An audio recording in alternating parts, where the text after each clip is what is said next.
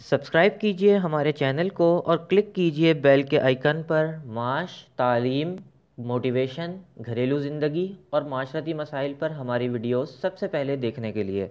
शुक्रिया। अस्सलाम वालेकुम नाजरीन। मैं हूँ मोहम्मद जुबैर और आज मैं आपको सुनाऊँगा कहानी मेंढकों की।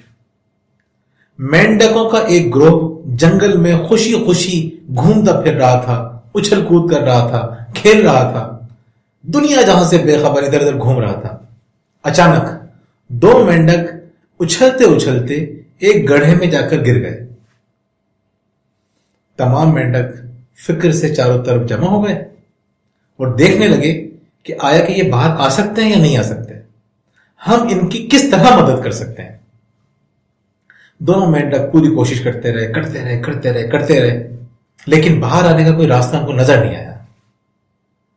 बाहर खड़े हुए मेंढक समझ गए कि अब कोई फ़ायदा नहीं है। कोशिश करने का कोई फ़ायदा नहीं है। उन्होंने चिल्लाना शुरू कर दिया, गले फाड़ के और हाथ हिला हिला के कि अब कोई फ़ायदा नहीं है। मेंढकों के उसूलों को पूरा करते हुए मजीद गहराई में चले जाओ और अपनी मौत का इंतज़ार करो। लेकिन मरने के लिए कोई इतनी आसानी से तैयार नहीं होता। दोनों अपने तौर पर पूरी कोशिश करते रहे। करते करते उनके हाथ बिल्कुल शल हो गए। बाहर खड़े हुए मेंढकों ने अपनी आवाज़ और तेज कर दी। उन्होंने कहा, कोई फ़ायदा नहीं है बाहर आने का। नीचे जाओ और मौत का इंतज़ार करो। यही हमारा कानून है। तो एक मेंढक ने यही किया।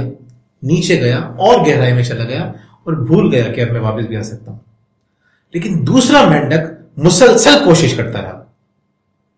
बाहर खड़े हुए मेंढकों ने फिर चिल्लाना शुरू कर दिया कि, तुम क्यों अपनी जान हलकान कर रहे हो? तुम जाओ आराम से, तुम भी अपने साथी के पास जाओ। अब बाहर निकलने का कोई रास्ता नहीं है, कोई इम्कान नहीं है। लेकिन वो कोशिश करता रहा और एक मुआवजा हो गया।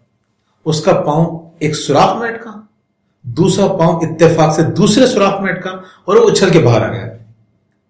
सब खुशी से नाचने लगे, उसके चारों तरफ़ जमा हो गए।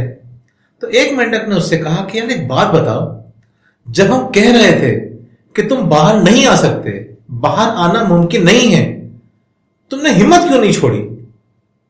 उसने करीब से उनके होंठों को हिलते हुए देखा और कहा कि जब मैं नीचे जाके गिरा था तो मेरा सर ज़मीन से टकराया और मेरा सर घूम गया। अब मुझे तुम्हारी आवाज़ें नहीं आ रही थी। लेकिन मुझे लग रहा था कि तुम लोग ये कह रहे हो कि तू बाहर आ सकता है। कोशिश कर, तू बाहर आ सकता है। मैंने सोचा कि जब मेरे दोस्त कह रहे हैं तो फिर तो यकीन मैं आ सकता हूँ। मेरे दोस्त झूठ तो नहीं बोलेंगे? हमें अंदाज़ा नहीं है कि हमारे अल्फाज, हमारी तसल्ली के, हमदर्दी के, मोहब्बत के, हौसला अफजाई के चंद अल्फाज किसी की ज़िंदगी मुकम्मल तौर पर तब्दील कर सकते हैं। उसे परेशानियों से निकालकर खुशियों के रास्ते में चला सकते हैं। उसकी ज़िंदगी को खुशगवार बना सकते हैं। उसे मजीद अमल करने पर आमादा कर सकते हैं। मशहूर राइटर है, सर जेम्स बेरी। उनकी किताब पीटर पैन बहुत मशहूर है। एक मरतबा वो अपने दोस्त के साथ बैठे हुए बात कर रहे थे उसके घर में, और बिज़नेस के मौजूद पे उनकी गुफ्तगु चल रही थी कि उनकी नौ साल की बेटी, जेम्स बेरी के दोस्त की नौ साल की बेटी, अपने हाथ से पहली मरतबा अपने हाथ से बिस्किट बना के लेकर आई। उनके दोस्त ने उसको घूर के देखा, बिस्किट हाथ में रखे और कहा, जाओ यहाँ से। बाहर आई। काफ़ी देर तक खड़े होकर सोचती रही कि मेरे वालिद ने इस तरह से क्यों कहा। खैर, बात आई गई होगी कुछ अरसे के बाद, उसकी माँ ने कहा कि, बेटा, तुमने दोबारा बिस्किट नहीं बनाए, कब बनाओगी? उसने कहा, अब मैं बिस्किट कभी नहीं बनाऊँगी। और उसने बिस्किट दोबारा कभी नहीं बनाए। हमें अंदाज़ा ही नहीं होता कि हमारी लापरवाही में कहे हुए चंद अल्फाज किसी के जहन पर किस तरह के अल्फाज मुरतब कर रहे हैं। हमें अंदाज़ा ही नहीं होता कि किसी की जरा सी हौसला अफजाई करके हम कितनी बुलंदी पर पहुँचा सकते हैं? और अपनी तनकीद और डांट के ज़रिए ऊपर जाते हुए शख्स को ज़मीन पर ला सकते हैं।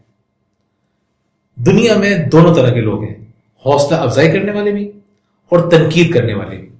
लोगों को ऊपर जाने वाले भी और खींचकर नीचे लाने वाले भी। बदकिस्मती से तनकीद करने वाले, लोगों को नाकाम करने वालों की बड़ी तादाद हमारे पास मौजूद है। लेकिन अलहमदुल्ला हौसला अफजाई करने वाले लोग भी मौजूद हैं। आपको डिसाइड करना है कि आप किस ग्रोह का हिस्सा बनेंगे। लोगों की हौसला अफजाई करके उनको ऊपर लेकर जाएँगे या तनकीद करके उनको नीचे ज़मीन पर लेकर आएँगे। फैसला आपको करना है। बहुत बहुत शुक्रिया।